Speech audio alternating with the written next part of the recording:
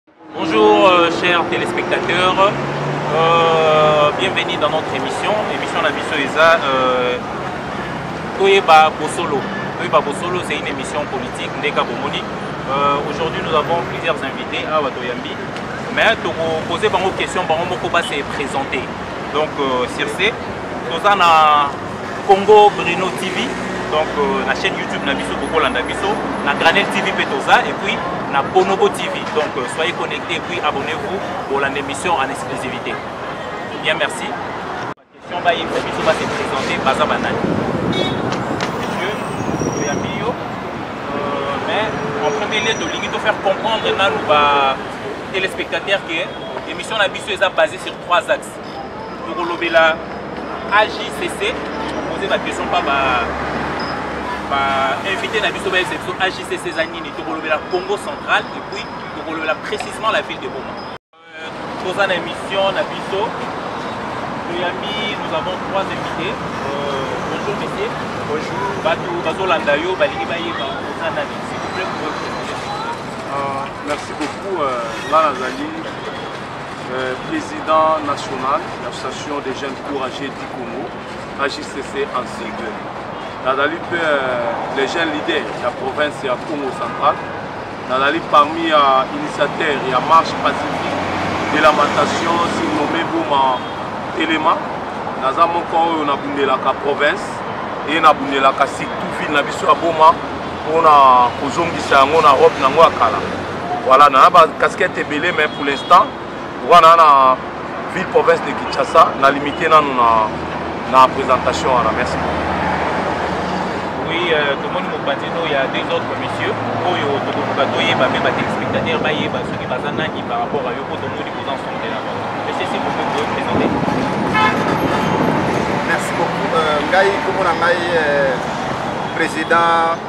Faeta Kunto la Pichu, nazali représentant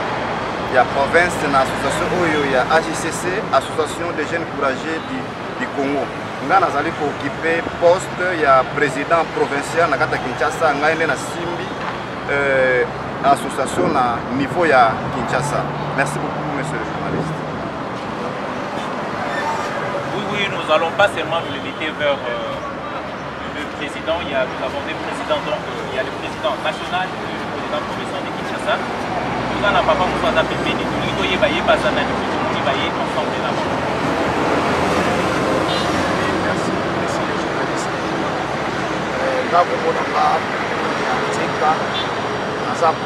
conseiller en matière spirituelle pour la présidente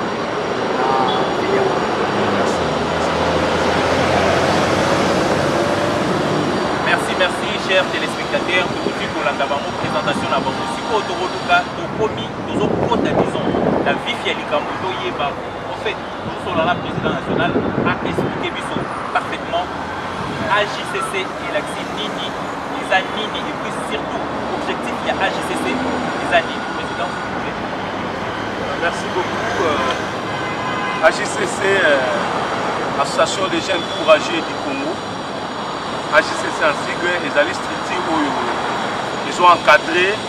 et ezo promouvoir ba jeunes sur les plans euh, de développement, euh, sur les plans intellectuels, sur les plans du travail aussi. Toza na ba euh, toza na ba activités belé ou tosalaka na niveau ya encadrement. Toza pe na développement sur les plans développement, toza na agriculture, toza na élevage et puis pe toza na ba travail ou tosalaka surtout social oyo ezo permettre que ba jeunes bazala encadrer mpe développer parce que lelo totali mboka na biso surtout euh, banda surtout série ya mandat passé euh, sans citer les noms jeunesse ezalaki tellement négligée jeunesse ezalaki abandonnée et tozwi basigno ba, ba ebele notamment appelé les jeunes bakuluna euh, lelo oyo tomoni ke euh, jeunesse na biso ya rdc en général toza euh, abandonne biso tozwaki initiative ya kocreye structure oyo ekoencadre mpe kopromouvoir bajeune donc euh, na kati na yango ndenge naloba ke bajeune oyo bazolanda biso soki lelo tozo encadre jeunesse tozo encadrer ba jeunes non pona desordre kuluna biso tozo encadrer ba jeunes po ba na bonne conscience quand on dit les jeunes courageux tozo mona ba ndeko ebele na nazo leka nazo mona ba, ba jeunes mususu ba teka papier mouchoir oui ça me fait mal mais quand même c'est un jeune courageux oyo atali eke ayiba ke azala kuluna mais ateka ne fils que papier mouchoir tomona ba jeunes ebele lelo baosala bilanga bajardin bajeune ebele lelo tomona bango bazoyekola misala maboko e biso tozo encourage bajeune wana yango omoni euh, appellation na biso eza association des jeunes courageux du congo donc tozo encourage bajeune oyo bazoluka na bosolo voilà bit ya structure na biso bit ya création ya lingomba na biso esalamaki bongo merci président ndenge bolandi président uti osala brève mwa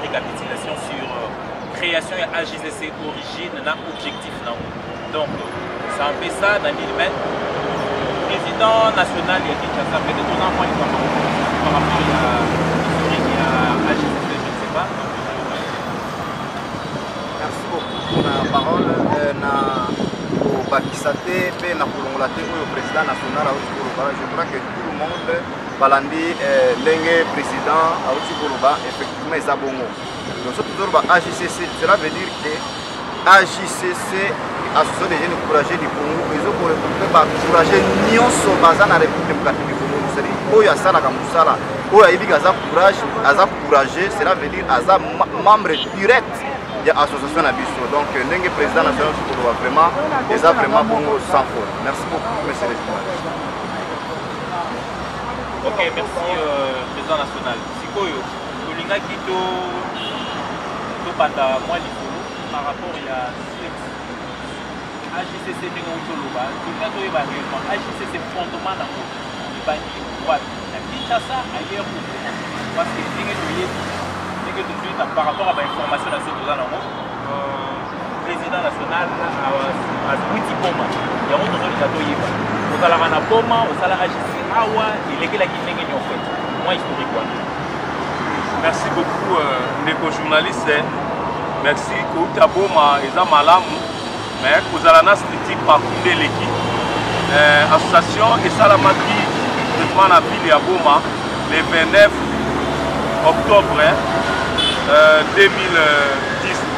7 pardon déjà station na biso 4e année yango alors station ekotamaki principal na ville ya goma ngai nazwaki likanisi mingi babengaka nga président fondateur parce nazwaki likanisi kotala ndenge nauti koloba na mandat passé ya ndeko na biso président honoraire joseph kabila namonaki ndenge bajeune bazokufa namonaki ndenge bajeune bakomi bakuluna namonaki lolenge nini mpasi ekotaki nde nazwaki likanisi ya koencadre bajeune courage bajeune oyo bazoluka na bosolo ebotamaki na ville ya boma mais toyaki kotala ntango ekomi na boma mobimba eyaki kozwa ampleur ya encadrement ya jeunesse oyo tobandaki koencadre bajeune toyei komona non likanisi ya malamu ekosuka kaka na boma te parce que courage eza kaka na province ya congo central te courage eza partout na sur le plan ya rdc courage na biso et courage ya bajeune eza na etandi nyonso ya mboka alors toyei koloba nini toyei kozwa makanisi ya kokontakte bandeko na mwanda tokontakte bandeko na matadi kinshasa kisangani mpe bandundu ti meme na este je vous informe ke association eza ntina lukumbati eza ntina awa bisika mosusu nakoma te mais toza represente na, na baprovince wana ntango tozwi likanisi ya kokomisa association nde omoni président euh, faita ye azwaki charge ya ville ya kinshasa ya province ya kinshasa pardon tozwi na mwanda place eza mama jetu tozwi na matadi tozwi na kisanga place eza mama chanel tozwi na bandundu e toza représente partout presque sur le 26 province mais tokozala na 11 province oyo deja association ekomi nde omoni ke likanisi tozwaki yango na boma siège social na biso eza na ville ya boma mais association na biso ekomi presque partout yango omoni arrivé na ngai na ville province ya kinshasa naza na président et bamembre nyonso baye koyamba ngai na remercier bango vraiment na accueil mpe na ndenge baye kozwa ngai surtout na arret ya bis koakompagne ngai ntina hotel yango moni batournoi nazosala na bisika nyonso association na biso ezali na ville ya kinshasa e na province ya kinshasa e na baprovince mosusu mais notamment création association na biso esalamai na ville ya boma place oyo siège social na yango ezali ndeko journaliste eza mabe te parce que toyebi abako abako ezali parti politique oyo epesaki président joseph kasafu kibokonzi esalamaka na province ya congo centrale na ville ya boma pourquoi pas association na biso lelo oyo esalama mpe euta mpe na province surtout na ville moko ya province ebima mpe na niveau national donc esengo na ngai ya komona te lelo toza na eh, capital tozolobela association oyo euti na kati ya province e na ville ya province wana eza esengo mingi voilà euh, chers téléspectateurs comme euh, vous l'avez bien si entendu dire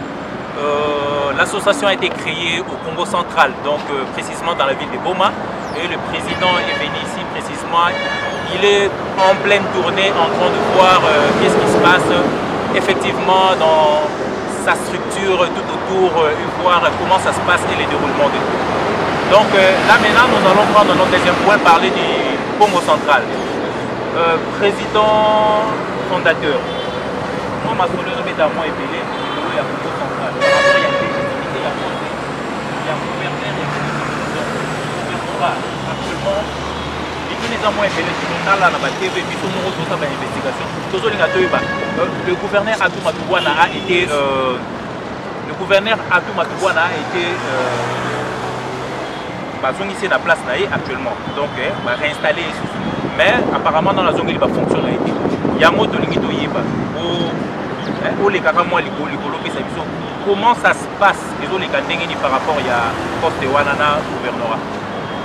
merci beaucoup ndeko journaliste etant que leader de l'opinion etant que grand leader na province ya congo central naza na ville capitale de ville province de kinshasa place bainstitution nyonso ya mboka evandaka nakoki kozanga kolobela eloko ya province ya congo ya province ya congo central te voilà donc euh, na ye toyebi ke biso nyonso tolandaki euh, ndeko atuma tubwana gouverneur euh, de la province du, du congo central a été suspendi momentalement et bapesi interim epai ya ndeko na biso justin lwemba euh, le gouverneur ai toye koyoka euh, conseil d'état et réhabilité gouverneur atuma tubwana alors normalement biso bajeune leader tozo protéger province na biso ya congo central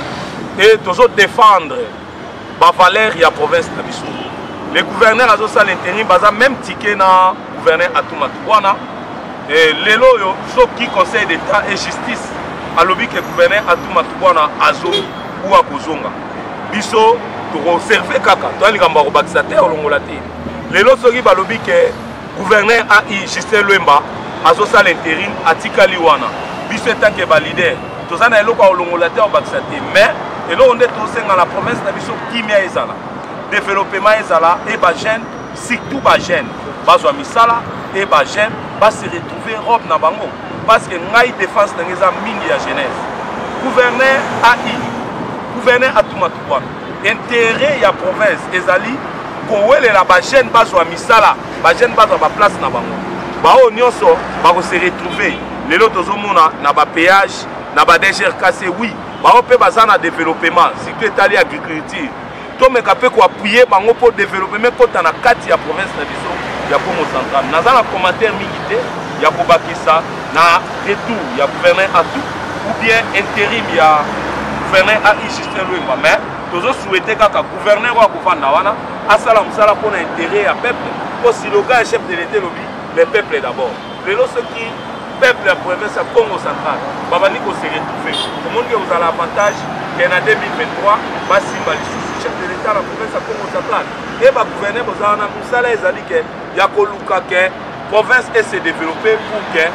ticket ya chef de l'État na 2023 ezala sous makasi. Voilà on a copé ça comme conseil et pas ya bande qu'on a biso ba gouverneur oyo bazo gérer province na biso ya Congo central. Voilà.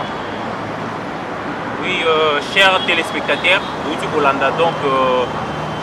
si en résumé nous pouvons dire que la JCC a été créée dans la ville portière de Boma. Sur ce, troisième point, la vie César, Oyeba. comme ezala créé na ville ya boma toyeba nanu mwa source comment ça se passe na ville ya boma président touti kolanda dernièrement boorganisaki marche moko boye la marche a été intitulée boma telema mpo na likambo ya port bon toyoki epuis tosali mwa investigation bayebisi biso ke vous êtes l'auteur ya marche wana vous avez tout organisé yebisa biso na mwa lombango osalaki yango likanisi wana eutaki wapi osalaki yango mpo na nini et puis quelles sont les retombées ya marche wana mpo toyeba moke mpe batelespectateur oyo baolanda biso na mboka mobimba bayeba de quoi il s'agit et puis euh, bana boma nyonso bazwa le courant par rapport à nyonso ndenge elekelaki merci beaucoup euh, ndeko motuna wana eza tellement euh, motuya esengeli toyanola yango euh, concernant marche pacifique de la matation euh, dénommé boma telema tosalaki yango na kotala euh, ville na biso ya boma banda 2012 en tout cas tokota na difficulté financière makasi ville ezo se développer te pourquoi parce que baactivité portuaire baactivité ya port na biso ya ville ya boma en tout cas ezo se dérouler te comme c'était avant parce que toandaki komona mituka ebandaki koya ebele banavire ezoya na ba 3000 véhicules ezoya na pepe ba 4000 véhicules mais lelo banda loi oyo matata mponyo apozaki na mboka na biso mpo na bavéhicule pas plus de euh, bavéhicule plus de 10 ans ekoki kokɔta lisusu te na kati ya province na biso ou na kati ya pays na biso alors toyei komona euh, ndeko premier ministre sortant sami badibanga ayaki kobimisa arrete alobi oui ekoki kokota tout véhicule ekoki kokota mais une seule condition eleka na kati ya contrôle technique alors toye komona batieli biso station ya contrôle technique mais en réalité toye komona bavéhicule oyo ville de boma avivaka nango nyonso erekita mpo ekota contrôle technique ezolekaka nango na matadi alors ntango ezoleka na matadi na matadi contrôle technique eza te ezokota control technique te ezobima nango toye komona pourquoi na même province deux points deux mesures soki okomi na pozo na mpo ya pozo baagent ya sécurité baza na bakotuna or oh, mituka oyo euti wapi boma wapi control technique soki control technique eza te tya wana oyo euti wapi matadi soki control technique eza te leka alors toye komona ke site ya makasi eyaki kokota par rapport ya bamesure oyo ndeko na biso premier ministre sortant matata ponio azwaki mpo na kocloue ville ya boma parce que ville ya boma a été choisi na 2011 mpo na ko soutenir defunt etieni tisekedi mpe ya son ame euh, oyo toyebi papa aboti président de république e ndeko matata mponyo si baraison politique oyo ayaki kosala mpo na koloue ville na biso ya bomalo yaki toyei komona 9 ans toyei kosala 9 ans vraiment sans rien et ville de Goma et banda ko faire ba 4000 béquilles lelo ville na biso comme ko vivre na 150 béquilles et tous les véhicules tous les conteneurs oyo ememi mituka na kati nyonso ezoleka matadi toye komona eza na bamoyen ebele oyo tokoki koreklame devant baautorité nationale bayoka kolela na biso nde oyo komona naye kozwa l'initiative ya koorganize marche pacifique de lamentation boma telema mpo na likambo ya port Ville ya Boma et port ya Boma et bandaki kosunga kaka te province ya Congo central voire même euh, ville province de Kinshasa biloko soki euti Boma ezokota na kati ya capitale bandeko na biso bakosomba bilokos toyebi bandeko na biso bafere à repasser babiloko ba, ba ebele oyo eutaka na port ya Boma ezalaka quand même eh, eseretuvaka na, na kati ya kine e bandeko ebele bazosomba yango na kati ya kinshasa epermettre biso quand même province de kinshasa province ya congo central edéroule normal yango omoni naye kozwa likanisi ya koorganize marche pacifique de lamentation mpo na kosenga na chef de l'état ke atala problème ya baactivité portuaire ya ville ya boma ekosunga biso mpo peuple bomatrase oyo barekonetaki papa etienne tisekedi na 2011 na 2023 batala lisusu quand même eh, ndenge nini bakoki kosunga mokonzi na biso akende su na deuxième mandat donc voilà organisation ya marche pacifique de la matation esalamaki denome boma telema mpo na likambo ya port toreklamaki port mpo efacilite biso eh, sur le plan économie ville ya boma ezonga lisusu ndenge ezalaki oui euh, merci président tolandi ndenge oyo toloba mais euh, na landi ndenge oexplike très bien baproblème ya boma mais eloko nazolinga nayeba En fait, précision na ngai ezaki le message na ba défaillance wana nyonso na ba fuite ya ba capitaux wana nyonso outi ko expliquer message na yo ya réclamation na lamentation na bino ezo se porter auprès de nani précisément donc olingi etouche nani sitele biso ba autorité politique oyo olingi ekende vraiment vers bango mpo bayeba ke message eyeba na bino tolingi bozwa likambo ya cœur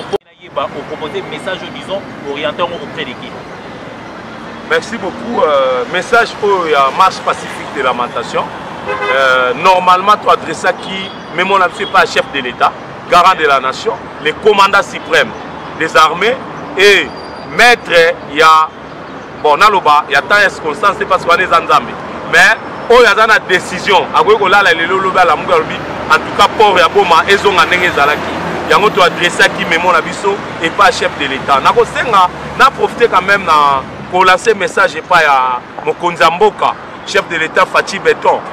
je pense que mokonzi ya mboka alobaki ntango ayaki na campagne na ye euh, na 2018 na ville ya boma alobaki soki aleki akosala tout a renouveler baactivité portuaire ya ville ya boma mokonzi aza na makambo ebele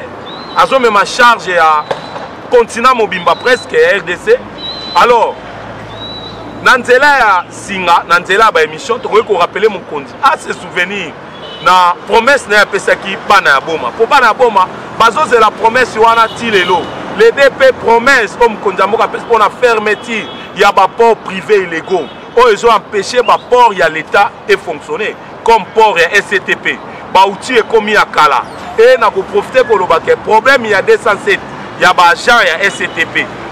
mpo emeka moke kozongisa batravailleur ya ectp na ndenge bazalaki parce que toandaki komona na kala soki bafuti onatra bafuti cvm okomona meme na bawenze meme na baboutique okomonaka meme ke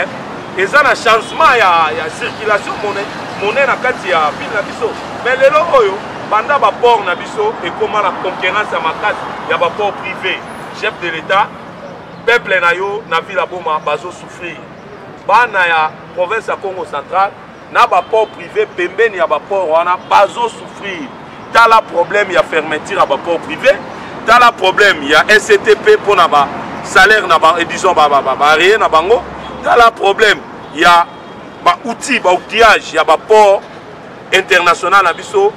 pona quand même tango ozo pesa ordre ya reprise ya ba activité portuaire quand même tozala pe efficace ya ko servir ba client po na bolamu ya province pourquoi pas ville na biso ya boma oui euh, bouti kolanda ndenge président auti korépondre biso yango tolinga totuna susu euh, président provincial peut-être aza mwa likambo ya kobakisa mpo ye lokola azali représentant ya hcc awa kin peut-être par rapport à tout ça likambo ya baport aza na likambo ya koloba par rapport à nyonso na président vous écoute merci, merci beaucoup monsieur le journaliste na parole kwa kobenga metinala eh, ngai naza motu ya liboso na soutenaki association oyo na ntango ezalaki créer nazalaki très content nazalaki très touché na ntango nayoki partir ya boma que non association moko ebimi association des jeunes courageux du congo na contactaki mbala moko président national nde apesaki ngai charge nazala comme na représente association na niveau ya kinshasa vraiment mpo na bamarche oyo basalaki e na bamikolo euti koleka ngai nazalaki très content parce que biso nde ozomona ngai bonga mpe naza ressortissant ya boma nauta na congo central na ville ya boma biso nde ozomona biso bo tosala bajournalier na port ya boma pour que totanga baklasse pour que lelo tose retrouve na kinshasa tosunga mpe mosusu tosunga ana kinshasa awa naza parmi bato oyo tosali misala na port ya boma toyebi ndenge ebandaki kofonctionne biso toza banikongo biso bakongo toregretaka te tolelakalelaka mpe te mais tozo kointerpele conscience ya baautorité ya, ya mboka batala situation ya, ya port ya, ya boma parce que na minute oyo ngai nauti kozala na boma ya na début ya mois passé nakei natali koma les gens souffre na boma 10 000 francs 10 000 francs congolais na bombe bazongo lokola 100 000 francs congolais ça vraiment c'est anormal esala nga vraiment touché réseau pour lequel tozo interpellé conscience ya bakonzi ya mboka batala port ya boma bazongisa baactivité mpo na minute nde tozoloba boye bango bazwi baactivité bazokende bazomema yango na port ya matadi or port ya matadi eza na bamwa badefo ebele bangomba eza makasi et puis bamba potopoto eza makasi na boma na biso tokomi korecevoir même 5000 véhicules ekomi kokita na boma ekopermettre bahotel evivre ekopermettre eh, eh, pont marshal ekotisa bataxe comme ça congo central erespire mais babloke port ya boma na minute oyo na boma ekomi noir et blanc do bato bazokobajeune bakosala misala bazosala su misala te bakomi kaka na activité moko banale ba vie ba, ba vie ya ba jeune ba jeune ya boma ekomi j'étais en pâture là nous ne sommes pas content de ça tozo senga conscience ya bakonzi ya mboka surtout président de la république ngai moko na ntango na 2011 nazalaki na boma namonaki ata tosala propagande ya ya élection mpona eh, ya élection ya Etienne Ezekiel le père na, na Joseph Kabila ngai namona na gare centrale je crois que mosusu baza na Kinshasa bayebi bazwa bainformation ngai moko na miso na ngai namona ndenge moto amitumba amitya essence amikufa na ye kaka parce que souffrance elekaki trop mais topesaki mwa makasi na ete district me na barealité ya mboka eh, oyo elekaki elekaki mais na ntango mwana ne aza wana eh, félix antoine tshisekedi tshilombo fati beton tozosenga zonga azongisa na conscience na ville ya boma atala asunga ville ya boma asunga mpena ville ya boma azongisa baactivité na port comme ça bazongela quand même vie na bango bazongela quand même mwa petite richesse bazalaki na yango nde babande kovivre bien en tout cas oyo nazali na yango mpona kobakisa yango wana merci beaucoup monsieur le journaliste oui euh, merci ndenge tolandi chers téléspectateurs vous avez très bien suivi euh, les réclamations que nos, nos invités ont stipulé par rapport au port de Boma. Et là, nous passons à notre question suivante. Président fondateur, tolingi toyeba au moins solution makambo nini oyo bozo prévoir oyo bozolinga kosala opermettre ekili ya boma ekende liboso donc tozolinga vraiment toyeba ensemble na batelespectateur baolanda biso boexplike biso ajcc basolution nini basolution nini oyo ezo prévoir makambo nini oyo ece mise en place ou bien projet d'avenir par rapport ya élévation ya province ya congo central ya ville ya boma na ya congo mobimba parce que hcc eza national merci beaucoup euh, ndeko journaliste eh, kaka ndenge omoni ngai euh, je pense eh, na créaki structure oyo lelo ezomema basolution ba non seulement la province ya congo central ou na ville ya boma mais ezomema basolution si na niveau ya mboka na biso alors ba initiative oyo toza nango oyo tozo projecte euh, mikolo ezoya ezali euh, forum de la jeunesse bomatracienne oyo ezali euh, parne na conseil urbain de la jeunesse euh, précisément na saluer président pichu poiti Euh, en tout cas président pichu poite na baeffort oyo ozosala mpo na ville ya boma mpe na bajeune ya boma c'est bon donc euh, tozoprojete forum de la jeunesse boma tracen oyo bajeune nyonso ya ville ya boma tokosala cahier de charge cahier de charge oyo tokopresente nango epai ya ministre national de la jeunesse oyo akopresente na conseil euh, des ministres epai chef de l'état mpona kotrouve baproblème nyonso ya bajeune ya ville ya boma parce que lelo ozomona ke bakuluna bakomi trop esalaki nga passe denema batumbi mutu voilà nyonso wana manque d'emploi manque d'encadrement yango siko biso toyei kozwa idée en tout cas il faut tosala forum de la jeunesse bomatracienne oyo ekozala clôturé epai ya ministre national forum wana ezali le eza le 14 décembre le 15 décembre mais tosengi bainvité kozala gouverneur ya province na ministre national ya jeunesse bango nde bakozala bainvite na kati ya forum wana mpo tomeka moke kotala baproblème nyonso oyo bajeune bazokutana yango na ville ya boma etant que représentant na bango na niveau national ya association ya bajeune courageux de boma tozoorganize yango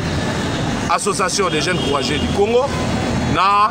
forum eh, disons na conseil urbain de la jeunesse ya ville ya boma nde tozoorganize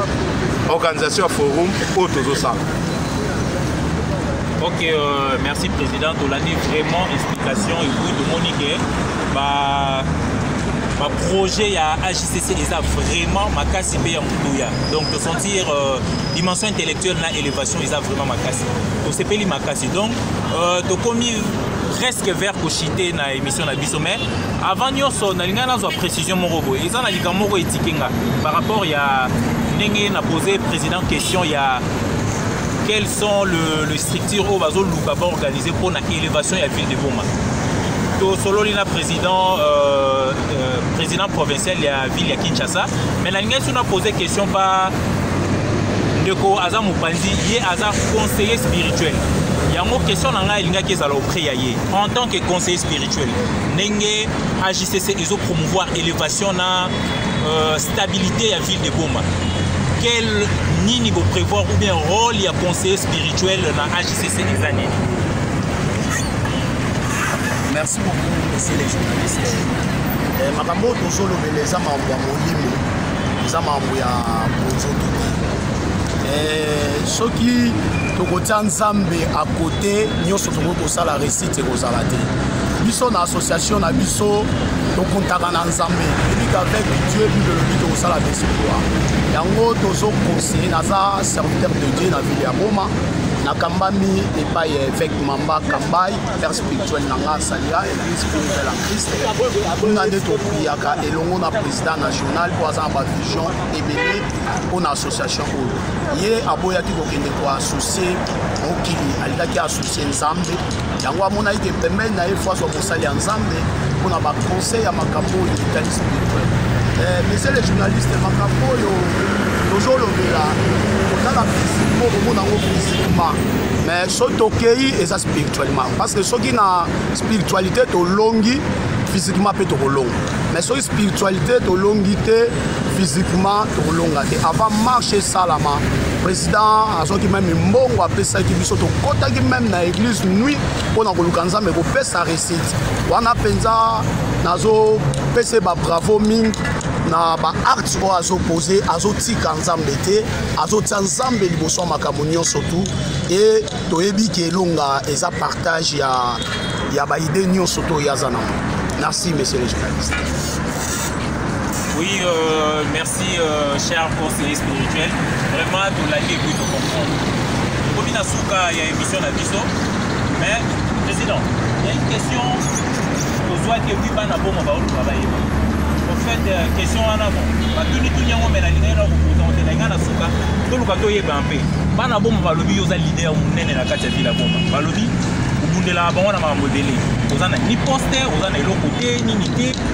Euh, na gouvernement oza na eloko te mais tu trouves des moyens et des solutions mpona korassembler bango tous les jeunes courageux mais eza na likambo moko bazosengasengasengasenga batuni bana boma batuni bana boma mpe boyebi batuni est ce que ya solo ozoluka opostule na 2023 en tant que député donc bana boma balingi bayeba réponse na yo eza nini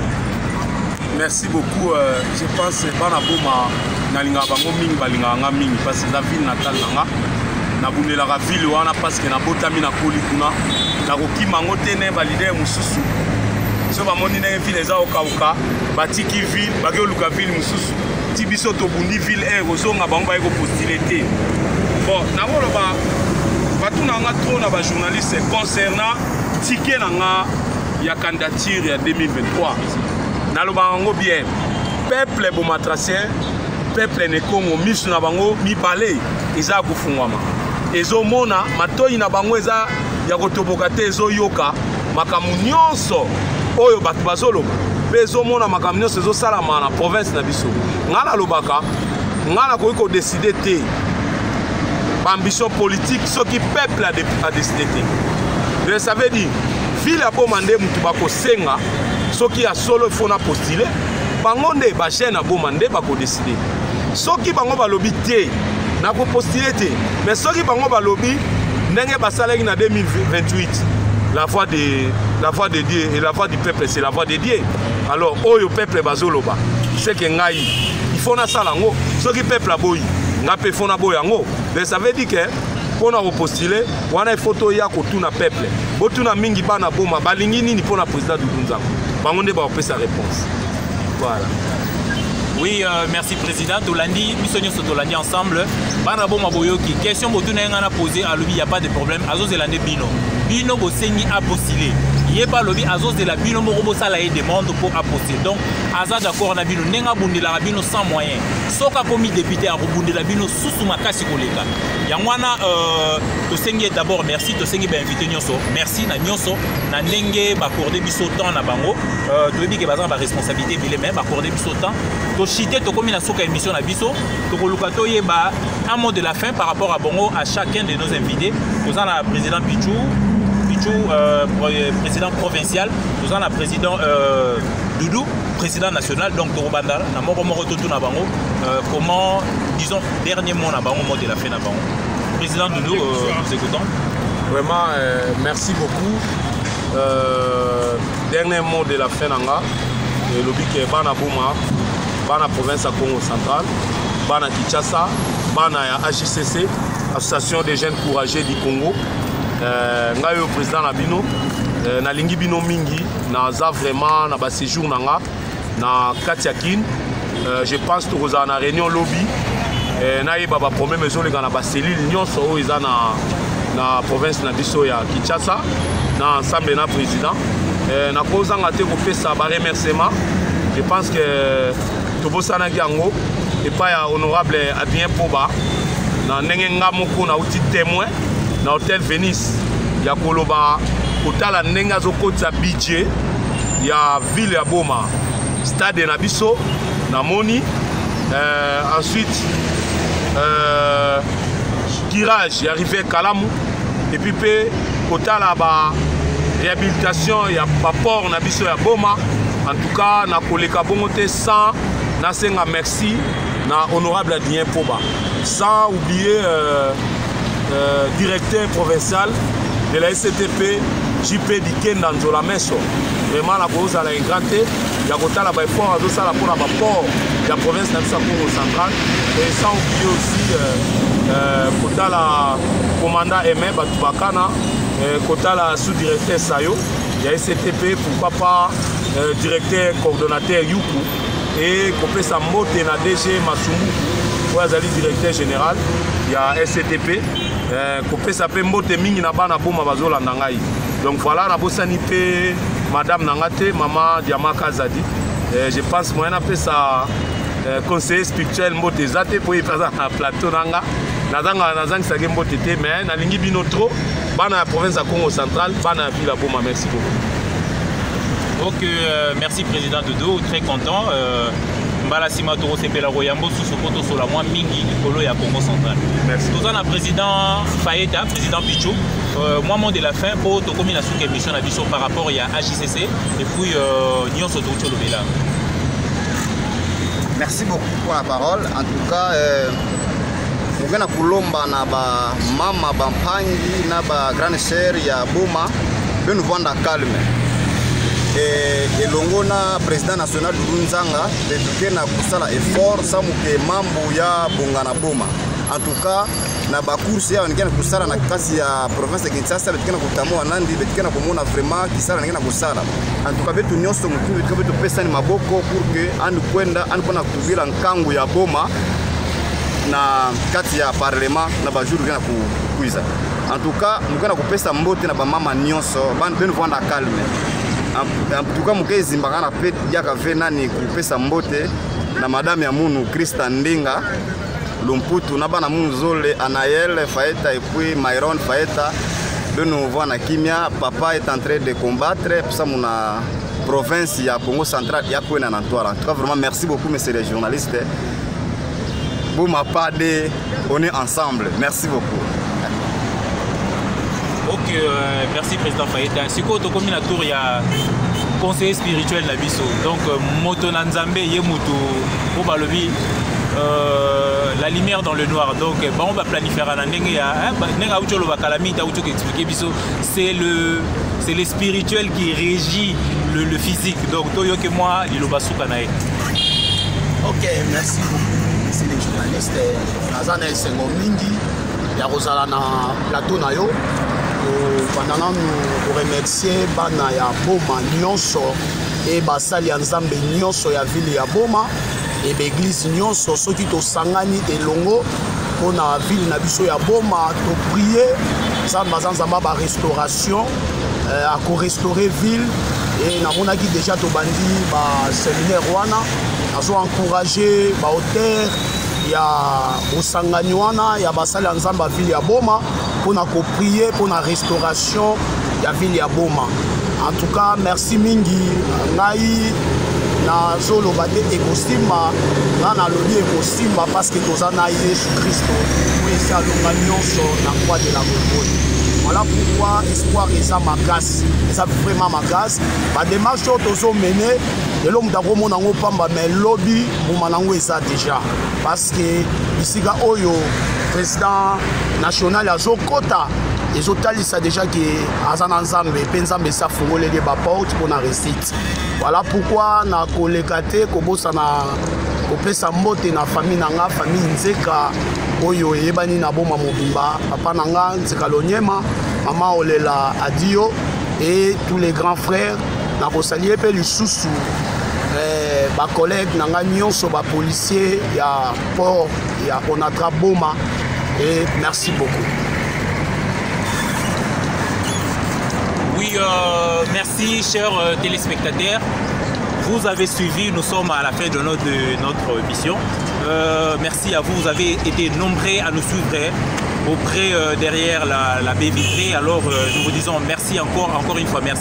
C'était Kermelis Lucevacchio. Nous vous prions de bien nous suivre abonnez-vous sur la chaîne Congo, Brino TV et puis Branel TV. Nous sommes encore sur Bonobo TV. Donc euh, soyez connectés, branchés et à la prochaine fois. Merci.